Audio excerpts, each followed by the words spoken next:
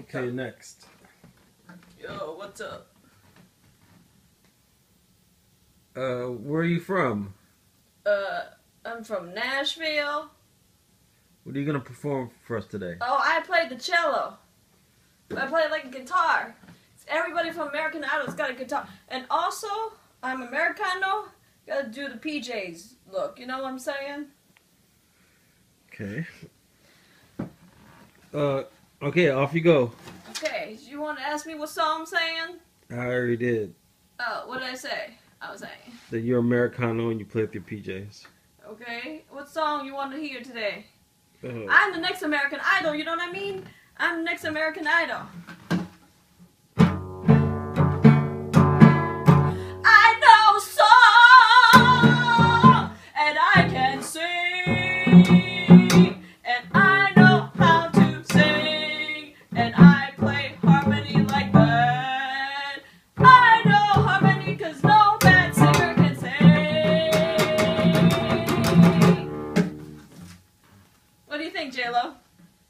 Sorry, it's a no from me.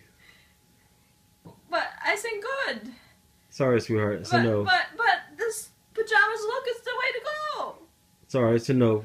Um, come back next year. What about what's that Australian dude with the the accent? Nicole Kidman's uh, husband. Sorry, mate, it's a no from me too. Oh, you're the worst judge in the world. Uh, you have a lot of heart. Keep practicing. Come back next year. Oh look, Lucky Cat seems Come on, Lucky. Tell them that I should be picked as America's next top. Wait, that's not America's next top model. American's idol. America's next top idol. Uh, Lucky's even saying that. No.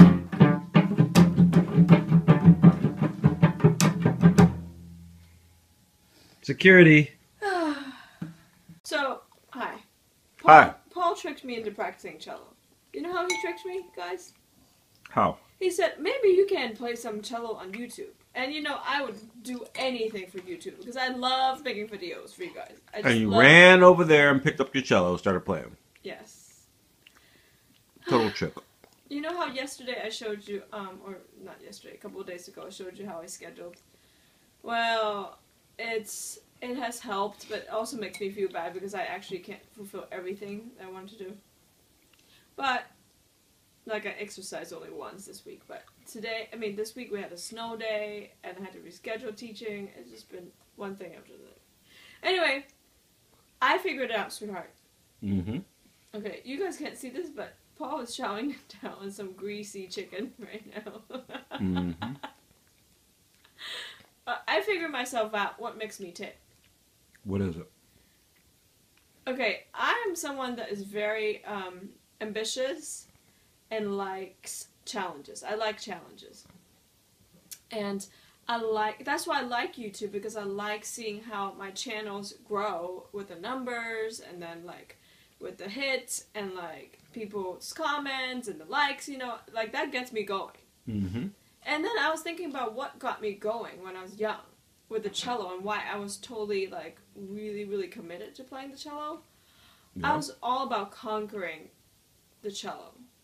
Like it's like a- athletes for Olympics, you know, they want to conquer every single thing and to make it perfect. For me it was about conquering like how good could I possibly be.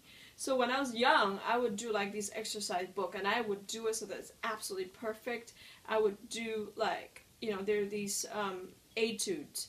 You know I would do them all and and memorize one every week. So I always had a goal like that, and then it, I would go up to the next book, and then the book after that. Then I would play the next concerto and the next sonata, and memorize the next thing, and the next recital. Would like that's what got me going.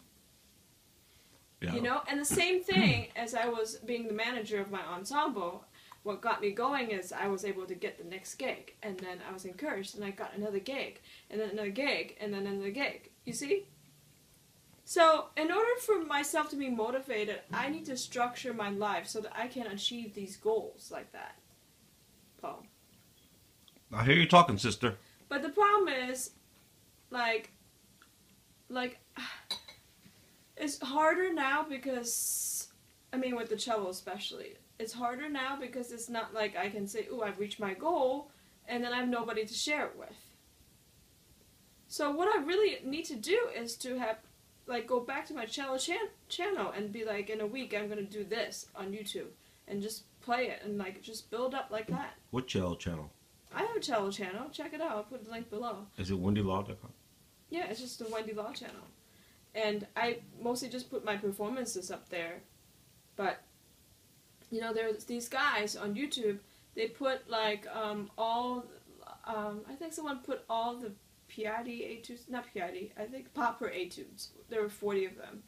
And just whenever he's ready, he just sits in his house with the, I don't even think it's that good of a camera. He just starts playing, and when it's really perfect, he, he performs on YouTube. All right, so let's And he's do one getting of tons those of hits. YouTubes. But I feel like that's the only way I can keep doing this cello thing because I don't know. It's just like I don't know. Or either like and, and I need someone to keep me accountable. I keep saying that. Like I seriously need you guys to help me. like I am doing it. I'm like on the verge of doing it and it's like it's hard for me. So you're supposed to be playing the cello, and you got out of it by saying that you're gonna rant for a minute. So go start playing. I am.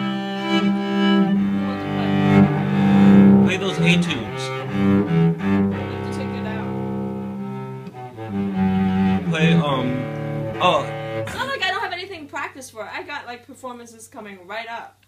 I have plenty to practice for, but it just doesn't interest me to practice for performances. all right. Play Gollyhoff. I can't. I don't even know how it goes. Play um. Play Itzhak Perlman. But anyway, the point of the story I'm trying to say is like you need achievable goals. Hmm, it's just neighbors. The point is, I you need achievable goals, and you have to put it like with a deadline, and then you have to do it by level and level. That's what. Why do you think that game? What's that YouTube? Not YouTube. The Candy Crush. Candy Crush. Why do you think everybody's obsessed? Because you want to go to the next level. Then once you achieve that level, you want to go to the next one. You know, I even fool my kids into playing games. You know that? How do you do that? I I would because I teach them how to play the recorder. I'm like level one, and then they do this. I'm like level one pass, level two, and they're like yes. And then and then they play a few more notes and then make it a little bit harder. I'm like level two pass, level three. So that's how I teach too. All right, so we need to get to level one tonight, which is to actually put some music in front of you, because you don't have any music in front of you. Hey, I'm doing the Hugh Hefner thing. Okay, very cute. Where's the music? You don't even have a music stand. Where's the music stand? Is it there? Get it.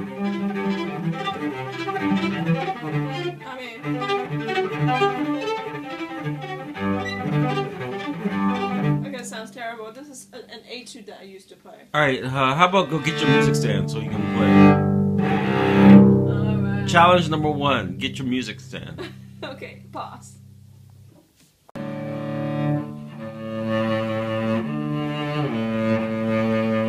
I'm just practicing. Go ahead. I'm gonna go to green screen.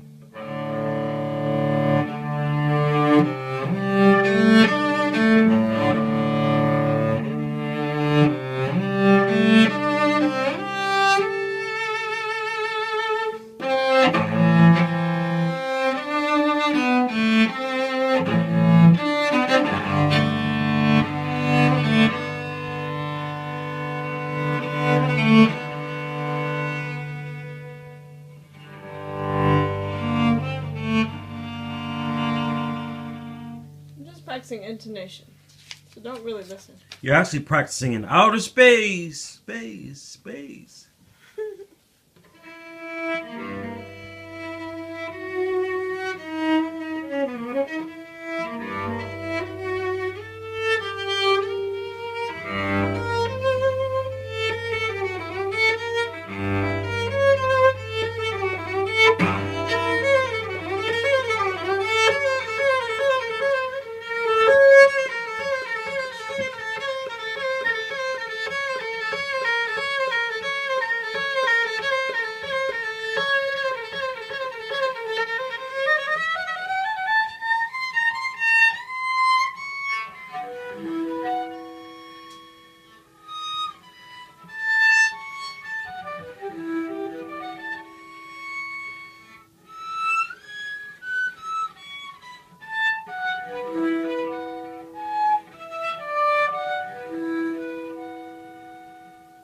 Part. You want to hear that again? Do you see these are called harmonics? So you don't press down. It's like the harmonies that um. I don't know. I don't know how to explain harmonics. It's like you don't press down on the finger, and it has this sound. That's overtones. That's what it is. Overtones of the strings. Open tones. Overtones. Oh, It's called overtones. And then you can create fake harmonics like. Sounds like whistling. So listen to this. It's really cool. That's my favorite part. Wait, let me see.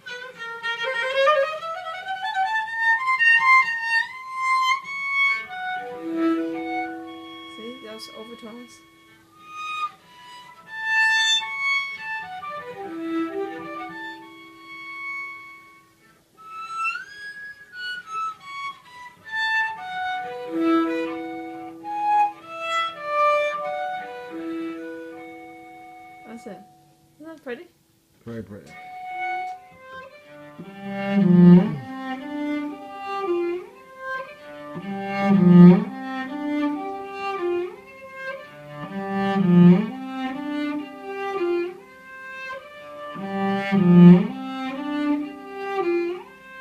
There.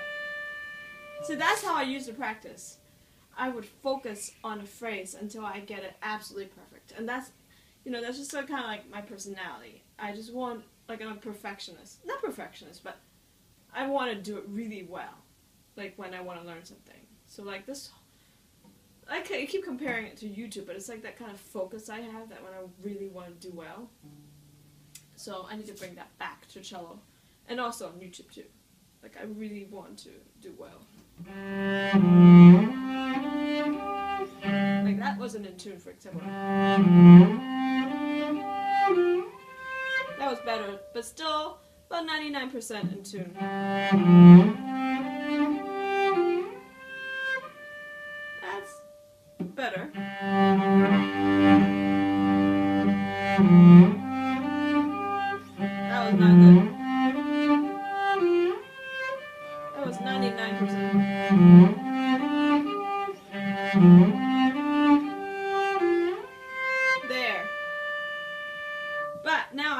Sure that I nail it every single time. Like, the whole thing my mom taught me is like, you have to be so good that you don't know how to play it wrong. That's how good you have to be. Like, you're so solid with your technique, you can't even get it wrong.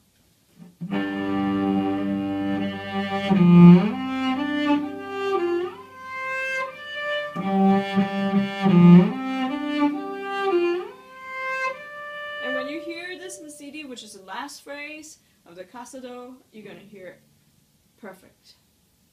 And that's gonna be a little while. anyway.